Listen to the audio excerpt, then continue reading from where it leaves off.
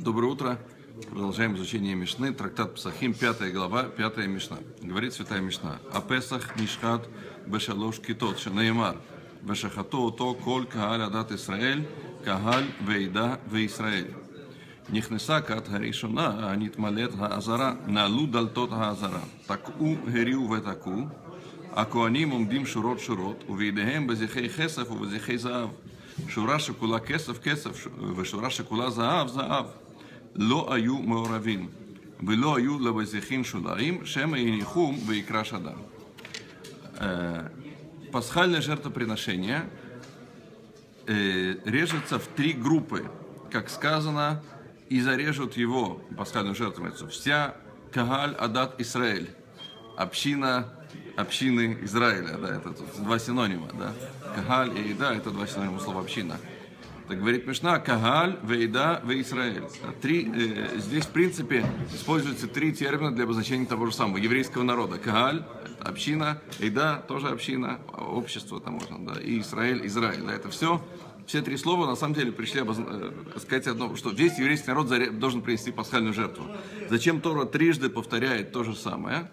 Так учат отсюда наши мудрецы, что у них есть была традиция, да, что это написано три раза для того, чтобы намекнуть нам на то, что пасхальное жертвоприношение не режется одной группой. И сейчас Мишна пере, пере, тремя группами. Мишна пере, пишет, как это было.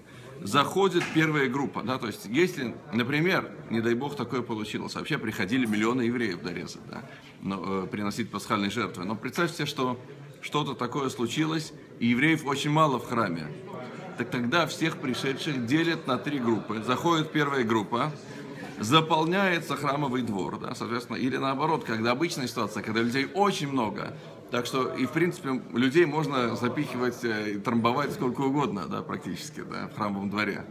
Но этого не делали. Зашла первая группа, видели, что двор наполнился, на и заперли ворота храмового двора.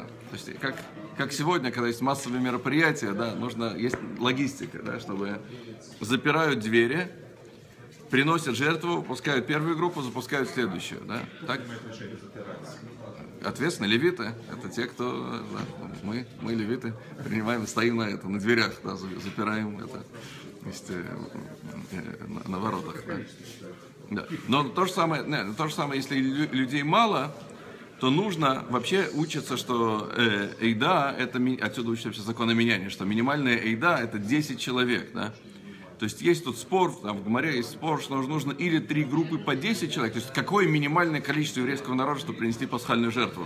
Есть мнение, что минимум должно быть 30 евреев в храме, то есть три группы по 10 человек. Есть мнение, что нет, что в каждой группе должно быть и Кааль, и Ада, и Исраиль. То есть в каждой группе должно быть по 30 человек, соответственно 90 человек нужно, там Гомора приводит расчет, как можно сделать с 50 людьми, по этому мнению, да, что если даже есть 50 евреев, все равно принести пасхальную жертву. Ну, за Ташем, что скоро будет отстроен храм, у нас проблема будет не как на, на, наскрести евреев, а как наоборот всех э, поместить туда. Да? Так, э, э, так э, э, запирают двери храма. Дальше таку верию вот таку трубят, делают ткия, это прямое трубление, труа, это как мы в Шорошана трубим. Гуту, гуту, гуту, ту, ту, ту, ту, ту, ту, да? И опять трубят. То есть вообще, когда приносятся жертвоприношения, у которых есть время установленное, то во время э, возлияния вина на жертвенник коины трубят не в шофары, только а трубят в хацуцрот, в такие трубы специальные, да, которые там были. Э, и, но поскольку, поскольку в пасхальное жертвоприношение тоже общественное жертвоприношение, которое есть время, хотя приносит не одна жертва от всего общества, а каждый приносит свою, но, но во время принесения пасхальной жертвы вино на жертвенник не возливается, и поэтому трубят во время того, когда режут этих э, ягнят. Э, так, и в это время левиты тоже, когда приносят жертвоприношение, коины трубят в трубы, а левиты поют алель, поют псалмы. Да. Так это, это очень красивое зрелище, да, когда там вообще в храме было много музыки, и там это музыкальные инструменты, левиты пели, играли, это было все очень красиво, очень торжественно.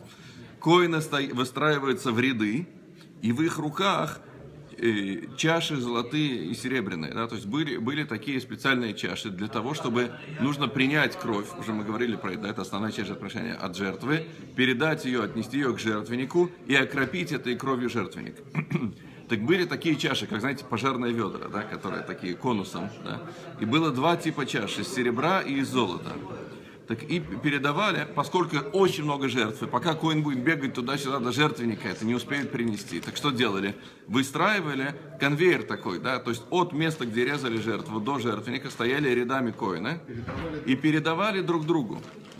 И написано, что настолько коины были расторопные, что когда они передавали в Песах вот эти вот чаши, они летели со скоростью стрелы. Невозможно было увидеть саму чашу, было видно только вот... э, Они делали, у каждого в руке было две чаши, одна с кровью, другая пустая, и он делал вот такое движение, да, каждый коин. Стоял, все время делал вот так вот. Брал отсюда пустую чашу передавал, например, обратно, а отсюда полную передавал дальше, да. И коины вот с такой скоростью делали эти движения, что это выглядело как такая золотая и серебряная такая линия, да. Количество коинов там. Большое, да, это, да, много, много коинов, да, тысячи, видимо, да. Э, так написано, что линия, которая, ряд, который ве- э, серебро, э, серебро, или ряд, который золото, золото, и не смешивали, да. Есть два объяснения, почему Вавилонский Талмуд объясняет, что не смешивали из-за красоты. Это очень красиво, когда с такой скоростью летят эти золотые, серебряные ряды, да. Э, Но Иерусалимский Талмуд дает более прозаическое объяснение. Поскольку было очень много чаш, а и золотая чаша, она очень дорогая, так опасались, что будут воровать. Как можно какую сделать махинацию? То есть э, служащие там в храме, они выдавали коинам эти чаши, но чаши много раз переходили из рук в руки. И опасались, что человек возьмет э, золотую чашу, принесет из дома серебряную, и вернет, скажет, я со своей чашей пришел, да, вернет э, в, в сокровищницу серебряную, а домой заберет золотую. Да, подменит. И поэтому тем, кто выдавали, если тебе выдали золотую чашу, ты имеешь право стоять только в золотом ряду, и, соответственно, кого что только золотую, да. Что- чтобы не украли, да. Они Да. были помечены Да. как Ну, на- не знаю, видимо, это, там, когда там тысячи, тысячи людей, миллионы людей, это все очень сложно проследить, да, нужно какие-то. И, и, и не было у этих чаш дна, чтобы не поставили их, и, да, и кровь не свернулась, да, то есть э, они были такие, как конус, да, без э, заостренным дном, потому что из-за опасения, что передадут другую чашу, он эту поставит, забудет, кровь свернется, и жертвоприношение будет некошерное, потому что не окропили э, кровью жертвенник, что является критично для того, чтобы жертвоприношение зачиталось. Ну, зачем, чтобы скоро мы тоже удостоились все это видеть. Спасибо большое, хорошего всем дня.